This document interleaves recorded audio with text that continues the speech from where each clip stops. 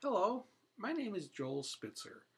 I've been running smoking prevention and smoking cessation programs for coming on 40 years now.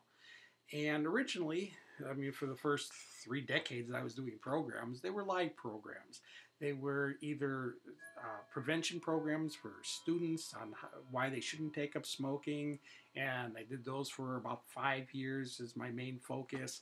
Then in uh, 1976, I started running stop smoking clinics, and during that time period from 1976 to 2000 or so, I was doing both prevention programs, not as many, but some, and mostly stop smoking clinics. And then after uh, 2000 until about uh, until about a couple of years ago, actually, I was doing live stop smoking clinics.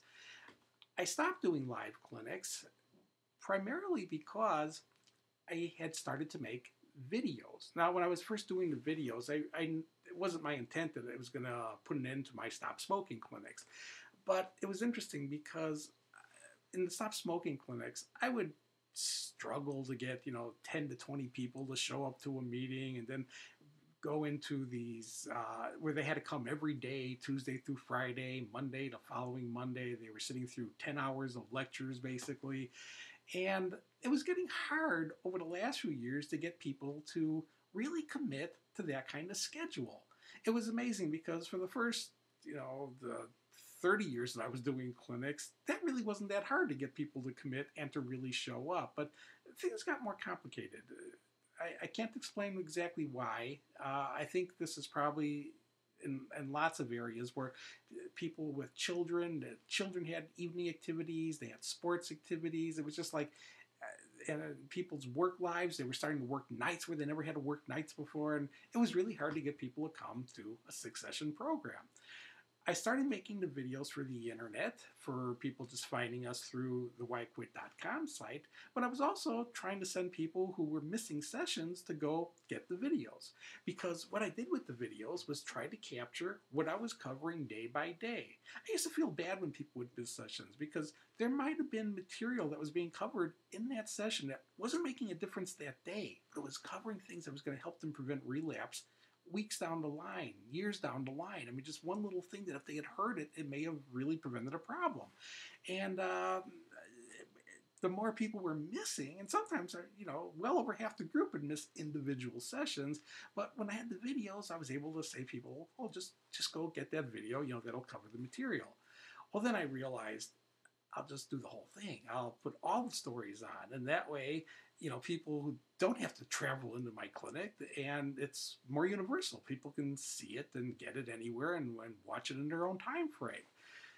As I started to have more and more of the videos, and then realized I, I had the whole clinic on video, it just wasn't necessary to drag people into a clinic, and I knew that. And it was like the handwriting was on the wall really quick for me that this was just ridiculous to make people come. I'll tell you, people still wanted to come. Uh, I wasn't running out of commitments to do programs, but it just didn't make sense. Again, it wasn't hard. I shouldn't say this. It was hard to get a large group of people to come in, but it wasn't hard to get people saying they wanted to come to a clinic, but it was hard to get those people to come and sit through six days in a row, or again, four days, then a day and then a day.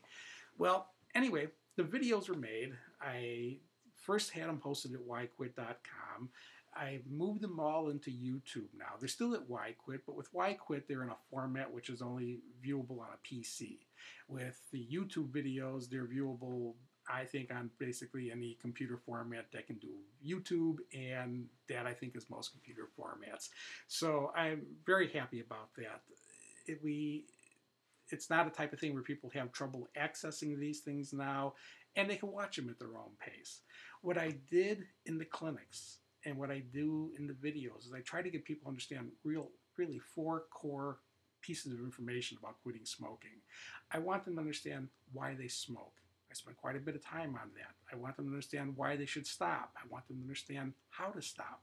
And I want them to understand how to stay off. The videos capture the material that I did in the clinics to help people who want to quit smoking you know, we're not here to force people to quit smoking. I'm not trying to scare them into quitting smoking. I'm not there to, you know, uh, force them to do something because society wants them to quit. My whole premise from the time I started doing programs was to help people who wanted to stop smoking. These videos are here for you to use to do that. I just, in the last couple days, I put them into playlists so you can see videos to watch in a day by day format.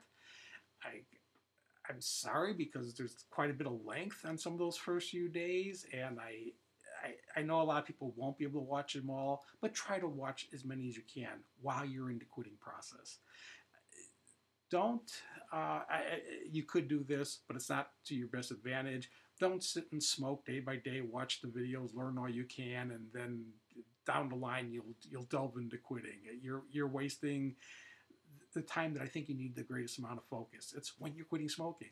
When you're ready to quit, when you throw out your cigarettes, you know, after watching the intro, so you understand what the this the videos in the introductory playlist. After you watch those, if you want to smoke and you watch those, fine. But if you're going into the day by day format and you really want to do this right, quit smoking that first day and start watching those videos. I think you'll understand why that I'm saying this because those day by day stories are trying to help you understand what's happening at that point in time and giving you the reinforcement that will help you get through what might be a tricky point in time. It might be, it might not be, but it's what those videos are for, and I, I hope you utilize them that way. Now, I also want to point out that at whyquit.com, we have something called Joel's Library. Now, in the library, there are other copies of the videos in there too, but there's also 100 articles. Now, the articles were never really written. This is how people are using them now more so than, than not, but they were never written to help people to quit smoking. The articles were actually always used as a reinforcement tool once people had quit smoking. I'd actually be sending them out a, couple the first week, a couple of week after that, and then once a month for years. I was sending out material to try to reinforce people's resolve to stay quit. Well, that's what's at the Why Quit articles in the library now. So once you quit smoking, if you do the video format, start looking at the Why Quit library, and you don't have to spend tons of time on this. And again, keep in mind the way they were originally intend, intended to be used and the way that I think they can still be used is people get one or two a week, it would take them, you know, 10 minutes to read, and it would just give them reinforcement to get over, you know, those those tricky time periods that can happen over, you know, over time without smoking. Anyway, the videos are there, and I want you to utilize them.